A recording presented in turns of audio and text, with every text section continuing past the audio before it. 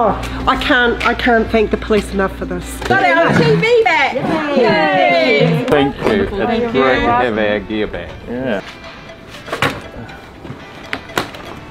As you might remember, a couple of weeks ago we recovered $40,000 worth of stolen electronics from Auckland schools in the area. This is a school run of a different type. This is the fun part where we get to give things back.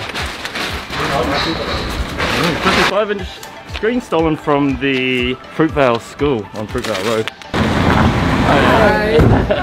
How's it going, alright? Wow, thank you. Thank you so much. Thank you. We'll follow you in.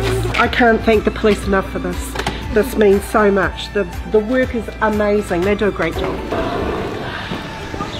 Good morning and thank you. It's great to have our gear back. Yeah. Thanks. Yeah. yeah, we're really we're really happy to have these back. Um, and likely what we'll be able to do now, um, since we've pulled these out of our circulation, is um, donate them to families in the school so they can have them at home to help them with their learning.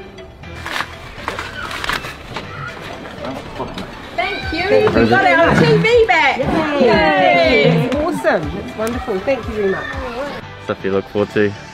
Something a bit different. Yeah. We don't always get to do, but it's awesome to do today.